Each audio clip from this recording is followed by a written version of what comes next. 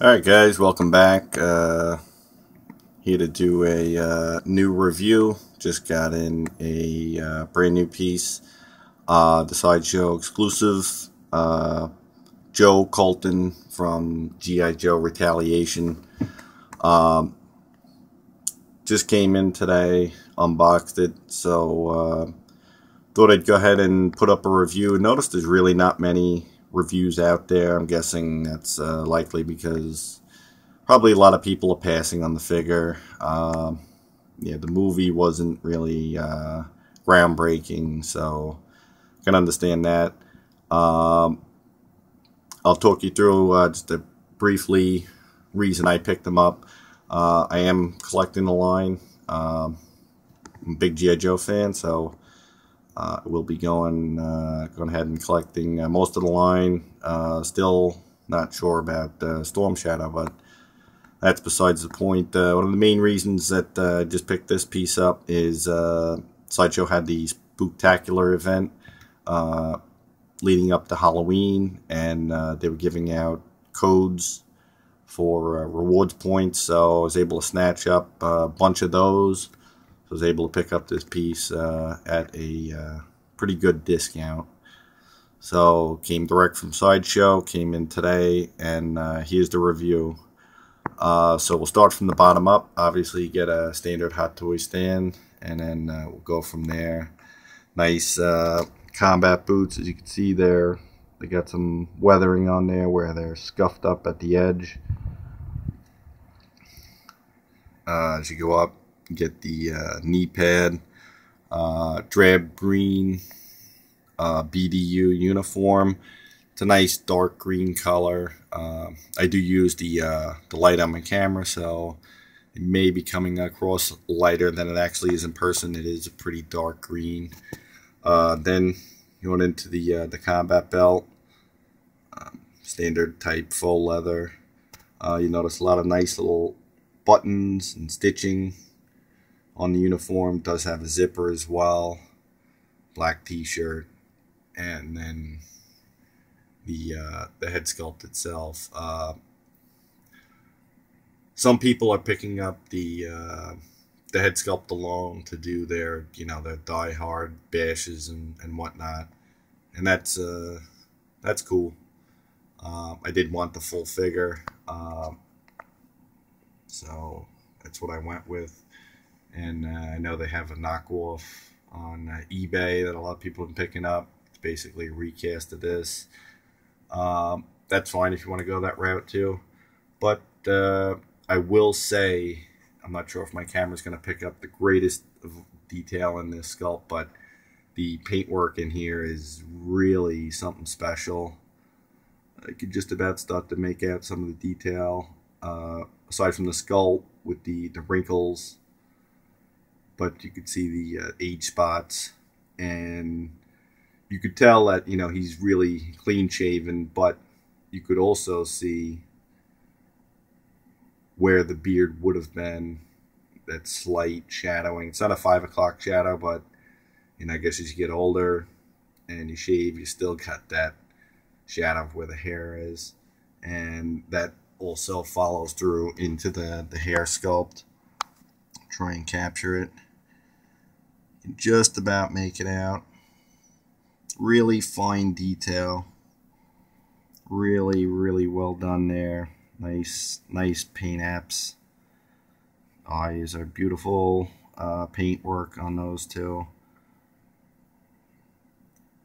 I mean, you can definitely see Willis right there. I mean, that that's the man.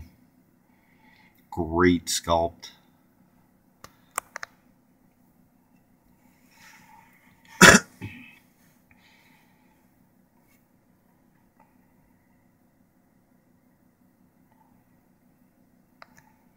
So there we go with that. Uh, go into uh, bit of the articulation. I'm not really an articulation guy, so just kind of pointed out it's it's fully articulated. Uh, there is uh, kind of like a Frankenstein body that Hot Toys put together, where it's uh, you know your standard true type legs, which is you know fully posable, double jointed elbows, and all of that. uh, knees. Uh, the torso is uh, got the basically the Wolverine torso, the TTM 19, uh, but it's got uh, fully articulated uh, arms, so it's got double jointed elbows, so you're able to get a full full bend. Um, articulation is real smooth on this figure. It's not super tight. It's not loose. Everything moves pretty well. Um, the the weapons and the accessories that come with this figure are a real nice selling point. Aside from the uh, the, the, head sculpt, uh, as you'll know that there was a few exclusives up this year. The exclusive uh, Evil Superman, the Battle Damage Iron Man, the uh, Star Spangled Captain America, and this one. Uh, all of those are figures we pretty much are second and third, fourth releases. So this one is an all new, it's a fresh character, it's a new sculpt. Uh, everything here is new, new equipment. Um, the the machine gun, take it out of his hand to give you a better look at it, is a uh, Scar machine gun. Um, see if I can get in on some of the detail on this a lot of lot of working features. The uh, sights. Let's if this will focus. Sights move up. The uh, scope slides back and forth. That front uh, sight also comes up. This side has got some interesting detail. You'll notice, I can pick it up. It's got writing throughout the uh, the piece, serial numbers, makes. Uh, you could just make it out there. It's really hard to film because it's printed in white on a beige or a tanned background, so that's not all coming across that that clearly. But you could also see that you know it's got weathering, the handle, um, the clip does remove. Really uh, nice work. Um, get writing up in here too. Can't really read it, but sure it's all there. So that's the uh, the Scar machine gun. That's the main machine gun that comes with the guy, uh, the figure. Then you get the shotgun. Some nice detail on this. Uh, you can see how it's painted with the metal parts. Got a nice gloss to them. Uh, the butt does extend. Um, a lot of moving parts here. So that's a really nice piece there. There's no sling for it like there is with the Scar, but it's not a big deal. Uh, he also has on him the uh, 245s, removable clips. Uh, one thing to note, uh, the only other review I've seen on this um, pointed this out. I'm not sure if I could recreate it, but the, uh, the bullet is actually removable from the clip. Well, kind of hard to do with one hand, but you could see that it's actually starting to move there.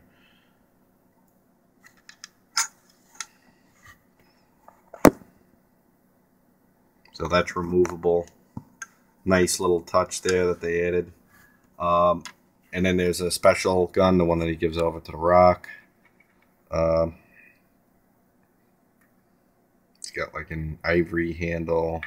Again, the slides move, the hammer moves, the clip removes, the bullet removes from the clip. So really can't ask for much more than that in detail in a 1-6 figure. Uh, there's also the uh, holster for that. I have not attached it to the figure yet. Uh, it's basically just right out of the box. So I haven't really set them all up yet just wanted to do a uh, review, show you guys uh, what you might be missing out on by passing on this figure. Um, and then he comes with three complete sets of hands.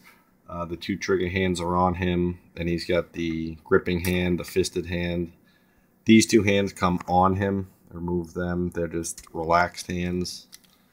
And then he also comes with the uh, extra clips and uh, clip holsters, as well as uh, an extra magazine holster and two beaner clips uh, for the back of the belt. Show you that where that goes. Goes right back here. So overall, uh, pleasantly surprised with the figure. Really, uh, really nice. Very well done. Uh, it's a solid piece. It's a nice collectible. Uh, if you're looking for a Bruce Willis figure, high-end Bruce Willis, um, this is definitely a great way to go.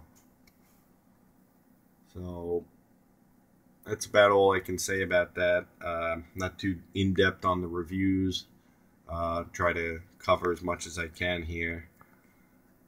Uh, but as you can see, you know the the head sculpt that's the uh, the main piece and does not disappoint. Uniform, outfit, the cut and sew, all really nice really well done. Kind of pan back to give you a overall look of the figure.